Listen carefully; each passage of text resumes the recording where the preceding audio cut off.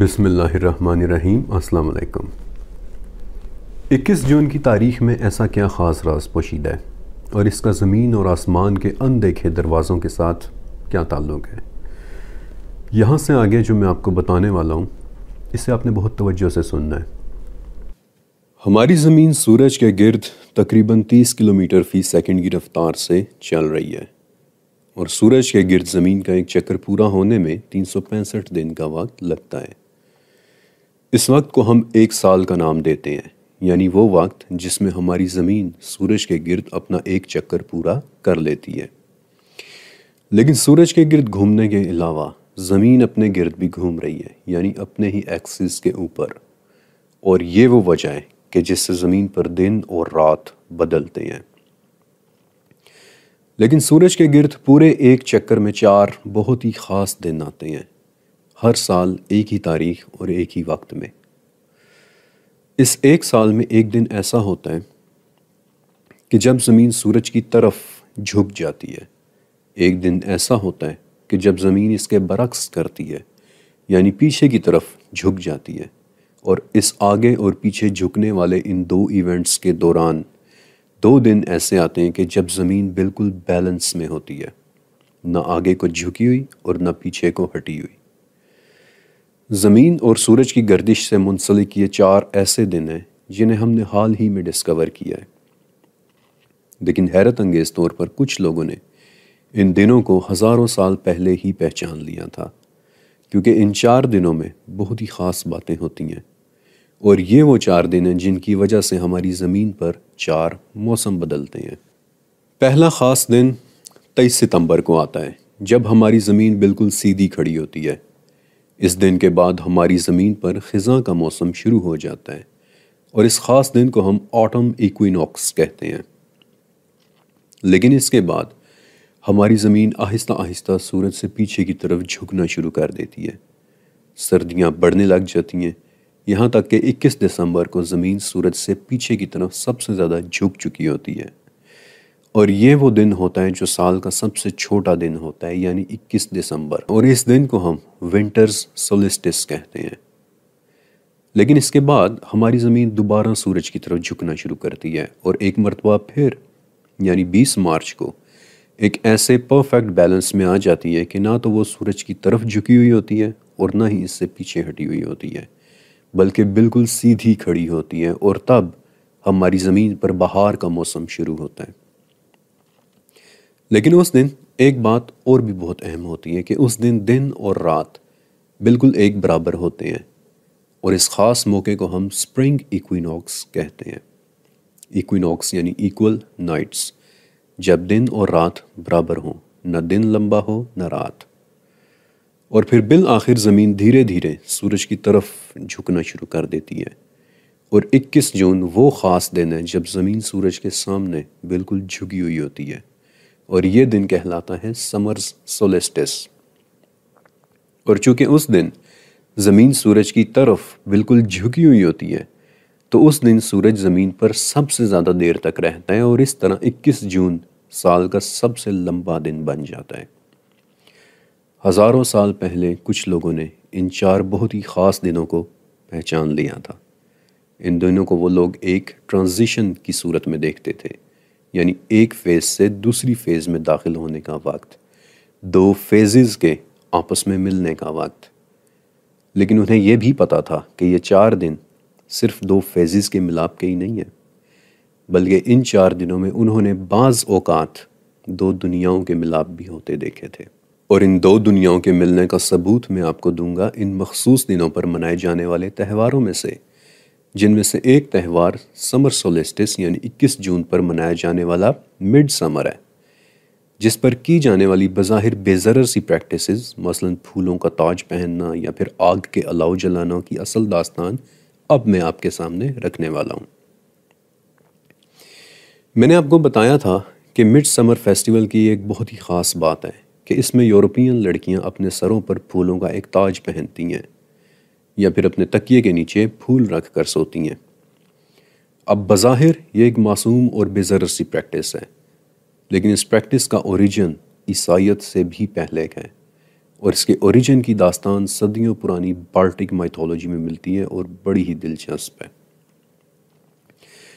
वो लोग इस दास्तान को अपनी लोक कहानियों में इस तरह बताते हैं कि सदियों पहले हमारे बड़ों ने देखा कि जिस दिन सूरज ज़मीन पर ज़्यादा देर तक रहा था उस दिन शाम के वक्त अचानक एक ख़ास किस्म का फूल नज़र आना शुरू हो गया था, जो देखने में बहुत खूबसूरत लग रहा था, लेकिन इस फूल को हासिल करना बहुत मुश्किल था। और जिन्होंने इस फूल को देखा, उन्होंने रिपोर्ट किया कि इसका रंग पहले पीला था, जो थोड़ी देर बाद सुर्ख हो गया। अब यूरोप के कई ममालिक में ये रिपोर्ट्स मिलती हैं। कि इन्हें एक ऐसे दिन में एक ऐसा फूल नज़र आना शुरू हो गया था जो इनके मुल्क से ताल्लुक़ नहीं रखता था, जो इनके जंगल में उगता ही नहीं था। एक ऐसा फूल जो इस दुनिया का ही नहीं था।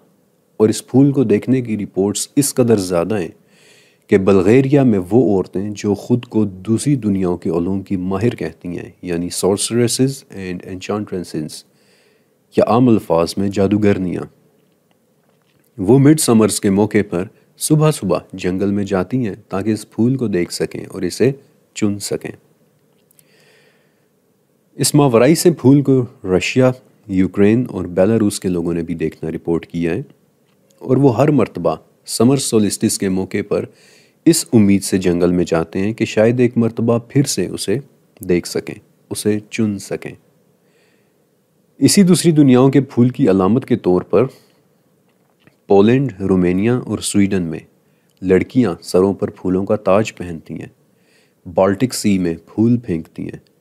इसी खूबसूरत से मावराई फूल की याद में जो किसी ज़माने में यहाँ के लोगों ने दरवाज़ों के परे खिलते हुए देखा था। स्लोवेनिया में लड़कियाँ मिड समर के सूरज को अपने फूलों के ताज के दरमियान से निकलते हुए देखती हैं। इस उम्मीद में कि वो फूल सूरज के उस ख़ास दिन के साथ इनके मुल्क में दोबारा से नज़र आएगा।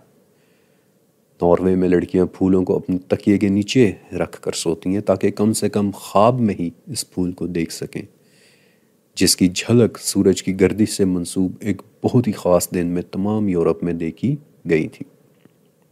मिड समर्स के त्यौहार पर इन फूलों के ओरिजिन की स्टडी आपको सदियों पुराने ज़माने में लेकर जाएगी, जब उन लोगों ने सूरज की गर्दिश के साथ एक ख़ास दिन पर खुलने वाले दरवाजे के परे की दुनिया को देख लिया था।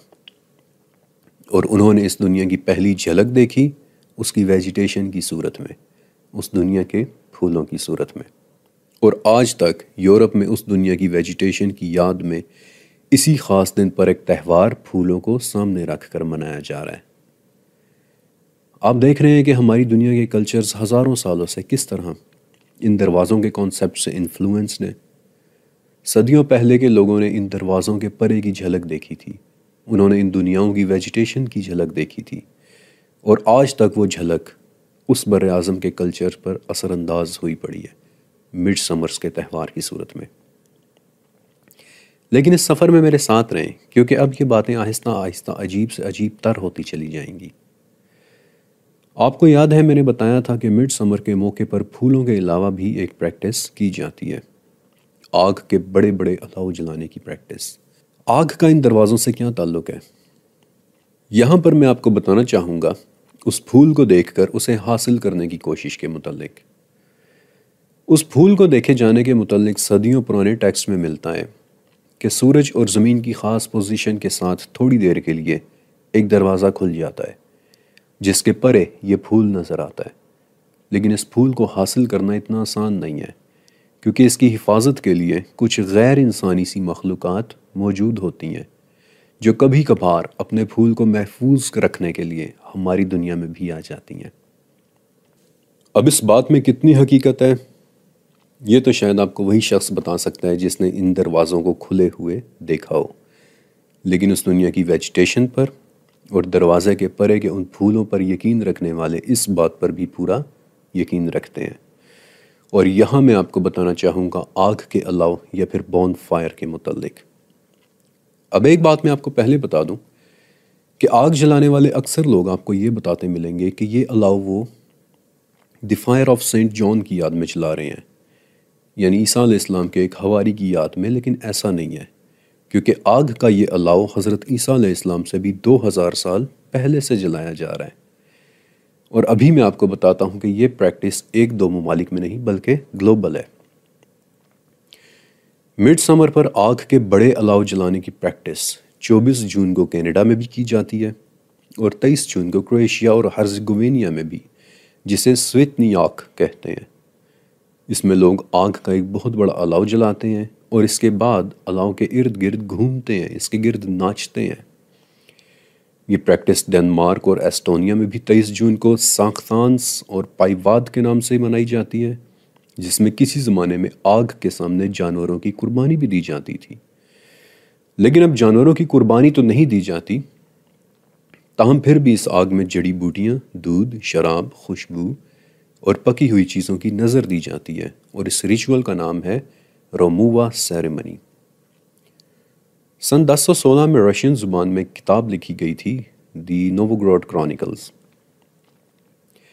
इस किताब में लिखा हुआ है कि रूस के लोग पिछले एक हज़ार साल से एक कदीम स्लाविक त्यौहार कोरोसुन, यानी मिड समर के मौके पर अपने कब्रिस्तानों में आग जलाते हैं, रोशनी करते हैं, और ये प्रैक्टिस सदियों से यूक्रेन में भी मनाई जा रही है।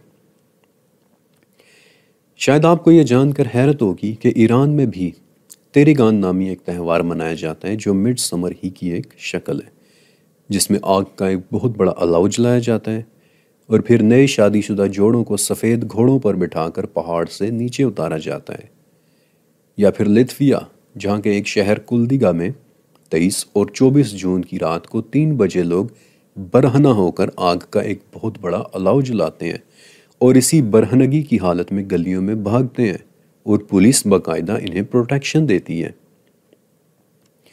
ये बात मैं आपको मेडिवल दौर या कुरून वस्ता से नहीं बता रहा, बल्कि ये बातें मैं आपको इक्कीसवीं सदी से बता रहा हूँ। बहरहाल, कुछ ममालिक में आग का अलाव जलाने के साथ साथ आज भी आग पर चलने या फिर इस पर से छलांग लगाने की प्रैक्टिस की जाती है। मसलन जहाँ रूस में लड़कियाँ दरियाओं में फूल बहा देती हैं, वहाँ लड़के आग पर से छलांग लगाते हैं। बल्गेरिया में आज भी कोयलों पर चलने की प्रैक्टिस की जाती है, जिसे वो निस्तेरानात्सवो कहते हैं। लेकिन क्यों? आग का इन दरवाज़ों के साथ क्या ताल्लुक है? मैंने आपको बताया था कि जिन्होंने फूल देखे, उन्होंने इन फूलों की हिफाजत करते हुए कोई मखलूक भी देखी थी। और कभी कभी उस मखलूक को अपने फूलों की हिफाजत करने के लिए हमारी दुनिया में उतरते हुए भी देखा था। और इसी मखलूक से अपने बचाव के लिए वो लोग हज़ारों साल से आग के बड़े बड़े अलाव जलाते चले आ रहे हैं। उनके नज़दीक आग का अलाव उन चीज़ों को, उन मखलूक़ात को दूर रखता था और इंसानों की उनसे हिफाजत करता था। और इसी तरह मिड समर के मौके पर, यानी जब सूरज और ज़मीन एक ख़ास पोजीशन में आए और वो दरवाजे खुले और दरवाज़ों के परे उन लोगों ने फूलों की सूरत में वहाँ की वेजिटेशन देखी और उस वेजिटेशन की हिफाजत करती मखलूक देखी और उस मखलूक से बचाव के लिए आग के बड़े बड़े अलाव जलाए, जिसकी रस्म आज पूरी दुनिया में मिड समर्स फेस्टिवल के नाम से मनाई जा रही है। और ये एक बहुत बड़ी वजह है कि आग उन चीज़ों में से है कि जिनकी इबादत इस दुनिया में कदीम तरीन अरसे से की जा रही है। कदीम यूरोपियंस ने आग को अपना मुहाफ़ समझा था। उन्होंने समझा कि आग उस मखलूक से इनकी हिफाजत करती है। इन्हें अंधेरों में रोशनी देती है। दुनिया के कदीम तरीन मज़ाहब में से एक मज़हब जरतश्त में भी आँख की इबादत होती थी। इंडिया के वैदिक दौर से यानी आज से ढाई हज़ार साल पहले से आँख की इबादत की जा रही है। उन लोगों का अग्निहोत्रा नाम का रिचुअल हज़ारों साल पुराना है, जिसमें सूरज की तरफ़ मुँह करके आग में घी डाला जाता है। जिसका मतलब ये है कि सूरज की गर्दिश के साथ खुलने वाले दरवाजे, फिर इस दरवाजे से निकलने वाली मखलूक और उस मखलूक से आग के ज़रिए हिफाजत। रोम में वेस्ता नामी एक देवी की मुकद्दस आग की हज़ारों साल तक इबादत की जाती रही है। यहाँ तक कि यहूदियत में भी आग की एक अहमियत रही है। यहूदियत में आग को खुदा की मौजूदगी की अलामत समझा जाता है क्योंकि जीविश लिटरेचर के मुताबिक हज़रत मूसा इस्लाम ने कोहेतूर पर आग ही को जलते देखा था, जिसके बाद वो वहाँ गए और फिर खुदा से कलाम किया। इसीलिए तो यरूशलेम के चर्च ऑफ़ हॉलिस फिलखर में पिछले एक हज़ार साल से यहूदियों की मुकद्दस आग जल रही है और ईसाइत में भी आग की मौजूदगी को मोमबत्तियों की सूरत में पेश किया जाता है। लेकिन आग की इबादत की एक तीसरी वजह भी रही है और वो ये कि कदीम तरीन ज़माने से ये माना जाता रहा है कि इस कायनात की हर चीज़ चार अनासर से मिलकर बनी है, यानी आग, मट्टी, हवा और पानी। लेकिन आग में एक ऐसी खासियत है कि जो इसे बाकी तीन अनासर से अलहदा करती है, इसे मुनफरद करती है। और वो खासियत ये है कि आग को पोलूट नहीं किया जा सकता। ये हमेशा शुद्ध रहती है। पानी को गंदा किया जा सकता है, मट्टी को ख़राब किया जा सकता है, हवा को आलूदा किया जा सकता है, लेकिन आग को नहीं। बेशक आप इसमें गंदगी ही क्यों ना फेंक दें ये इसे जलाकर ख़त्म कर देगी। और आग की दूसरी खासियत जो बाकी नासिर में नहीं है, वो ये कि पानी नीचे की तरफ़ बहता है, हवा नीचे की तरफ़ आती है, मट्टी रहती ही नीचे है, लेकिन आग की फितरत ऊपर उठने की है, आसमानों की तरफ़ उठने की, दरवाज़ों की तरफ़ उठने की। आग के इन बड़े अलाव का मकसद सिर्फ़ उन मखलूक़ात से अपनी हिफाजत थी या उन मखलूक़ात को अपनी तरफ़ मुतवजो करने की? आग के ये बड़े बड़े अलाव उस मखलूक के लिए एक लाइट हाउस का काम करते थे, या फिर ये अलाव उन दरवाज़ों को खोलने के लिए भी इस्तेमाल होते थे। ये सवाल किसी और दिन के लिए, लेकिन एक बात तो तय है कि सूरज और ज़मीन की गर्दिश से पैदा होने वाले इन चार दिनों के त्यौहार, सूरज और ज़मीन की ख़ास पोजीशन से खुलने और बंद होने वाले दरवाज़ों से मंसूब त्यौहार, आपको सिर्फ़ समर सोलिस्टिस के दिनों में नहीं बल्कि बाकी तीन दिनों में भी पूरी दुनिया के अंदर होते नज़र आएँगे। आप बाकी त्यौहारों के मुतालिक मज़ीद जानना चाहेंगे। साल का दूसरा ख़ास दिन विंटर्स सोलेस्टिस होता है, जब ज़मीन सूरज से पीछे की तरफ़ झुकी हुई होती है और इस पर सूरज की रोशनी बहुत ही कम पड़ पाती है, जिसकी वजह से 21 दिसंबर साल का सबसे छोटा दिन बन जाता है। और यही सबसे तवील गहरी स्याह रात भी होती है। और इस फिनोमेना को भी हज़ारों साल पहले रहने वालों ने पहचान लिया था। लेकिन कैसे पहचान लिया था? इनकी माइथोलॉजीज को गहराई से स्टडी करें। आपको कहीं ना कहीं दरवाज़ों के खुलने के ट्रेसेस ज़रूर नज़र आएँगे। मसलन ईरान की कदीम तरीन माइथोलॉजी के मुताबिक 21 दिसंबर, यानी विंटर्स सोलेस्टिस पर, सूरज और ज़मीन एक बहुत ही ख़ास पोजीशन में होते हैं। ये रात साल की सबसे तवील रात होती है, जिसमें दिन की रोशनी बहुत ही कम पड़ पाती है, और ईरान की माइथोलॉजी के मुताबिक उस रात आहरीमान यानी जरतश्त मज़हब का शैतान दूसरी दुनिया के दरवाजे से निकल कर हमारी दुनिया में आ जाता है। और इसीलिए इस रात फैमिली को एक दूसरे के साथ, एक दूसरे के करीब रहना चाहिए। और इस तरह शुरू हुआ कदीम ईरानी त्यौहार शब यल्दा। जिसमें दोस्त और फैमिली मेंबर्स इकट्ठे होते हैं, खाते पीते हैं, शाहनामा और मोहम्मद हाफिज़ शराजी की नज़में पढ़ते हैं। और ये बात बहुत ख़ास है, क्योंकि शराजी एक सूफ़ी शायर थे और इनके अशार के ज़रिए लोग फाल निकाल कर ये जानने की कोशिश किया करते थे कि हमारे साथ क्या होगा। और इसी नस्बत से इस त्यौहार का नाम शब चिल्ला भी है। और उस रात वो लोग इसीलिए फाल निकालते हैं क्योंकि इनकी माइथोलॉजी के मुताबिक इस रात तमाम दुनियाओं के दरवाजे खुल जाते हैं और कुछ भी छुपा हुआ नहीं रह सकता। अबू रेहान अल बैरूनी ने ये तमाम बातें दसवीं सदी में लिखी, अपनी किताबों में भी रिकॉर्ड की हैं और वो ये भी बताते हैं कि शब यल्दा ये लोग चालीस किस्म के खाने बनाते हैं, जिनमें सुर्ख रंग का खाना ज़रूरी होता है।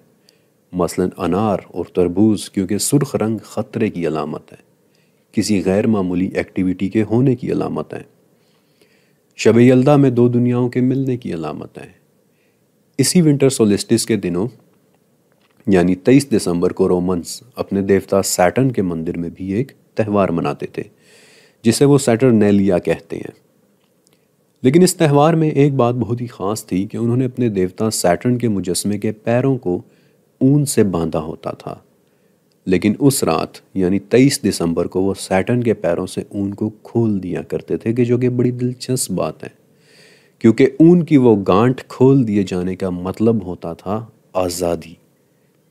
उनका मानना था कि उस रात सैटन नामी एक मखलूक आज़ाद होकर अपनी दुनिया के दरवाजे से हमारी दुनिया में आ जाती है, और ऊन की उस गांठ को खोल दिए जाना उसी आज़ाद हो जाने की एक अलामत थी। लेकिन सबसे दिलचस्प बात यह है कि रोमन्स के नज़दीक सैटर्न एक ऐसे दरवाजे के पीछे की दुनिया की मखलूक था, जो बहुत भयानक दुनिया है, और सैटर्न इस दुनिया में रींग कर चलता है। लेकिन क्या आप एक और त्यौहार के मुतलिक भी सुनना चाहेंगे? एक ऐसा त्यौहार जो विंटर सोलिस्टिस के मौके पर पिछले कई हज़ार साल से मनाया जा रहा है, जिस पर दर हकीकत इबादत की जाती थी। उन दरवाज़ों को खोलने वाले सूरज की।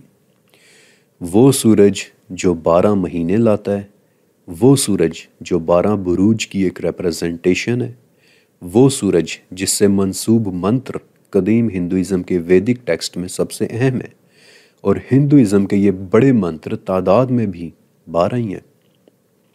वो सूरज जिसकी तस्वीर कदीम इजिप्शियंस अपनी हर देवी की तस्वीर के ऊपर बनाते थे क्योंकि इनका मानना था कि जिस देवी की वो तस्वीर बना रहे हैं, वो सूरज की तरफ़ से उतरी हुई एक मखलूक थी।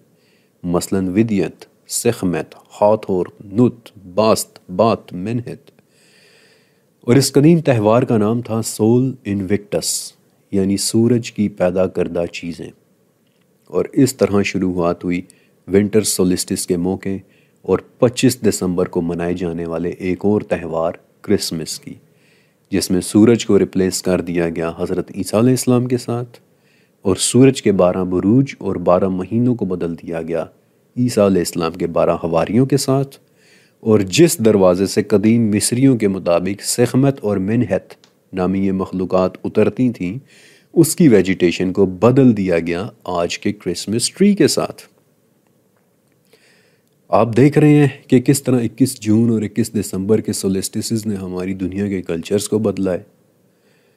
खुदा ही बेहतर जानता है कि किन लोगों ने सूरज और ज़मीन की इन ख़ास पोजीशनों के साथ दरवाज़ों को खुलते और बंद होते देखा।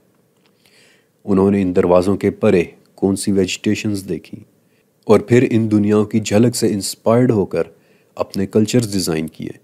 और इस तौर पर डिज़ाइन किए कि आज हमें पूरी दुनिया में सूरज, ज़मीन और इनकी गर्दिश से खुलने वाले दरवाज़ों के ट्रेसेस नज़र आते हैं।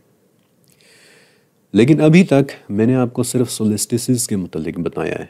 यानी जब ज़मीन या तो पूरी तरह सूरज की तरफ़ झुकी हुई होती है, या फिर पूरी तरह सूरज से पीछे की तरफ़ हटी हुई होती है। समर सोलिस्टिस जब सूरज ज़मीन पर बहुत ज़्यादा देर तक रहता है, जब हमारी दुनिया के तीन शहरों में रात ही नहीं पड़ती। मसलन रूस के शहर मरमांस्क और नॉर्वे के शहर बोडो और फिनलैंड के शहर रवानियामी में दिन 24 घंटे का हो जाता है और रात आती ही नहीं। और ऐसा साल में सिर्फ़ एक मरतबा होता है या फिर विंटर सोलिस्टिस कि जब सूरज ज़मीन पर बहुत कम देर के लिए रहता है। और साल की सबसे तवील, सबसे गहरी, सबसे तारीख और सबसे स्याह और ख़ामोश रात होती है।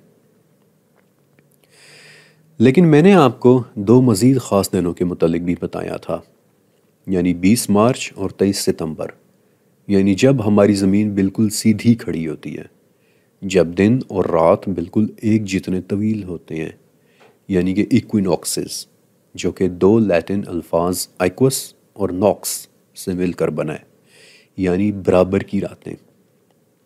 सिर्फ़ ये वो दो दिन हैं जिसमें हमारी ज़मीन के दोनों पोल्स दोनों को तब पर सिर्फ़ चार घंटे के लिए सूरज की रोशनी पड़ती है।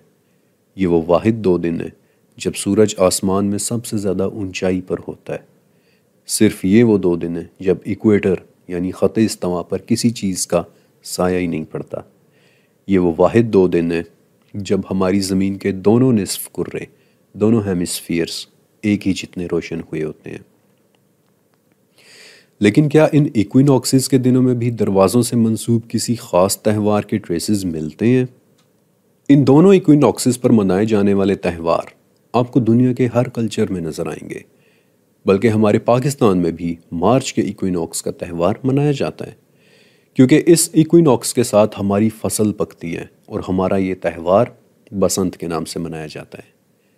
इसी तरह ईरानी कैलेंडर में मार्च का इक्विनॉक्स नौरोज़, यानी ईरानी नए साल का दिन तय करता है।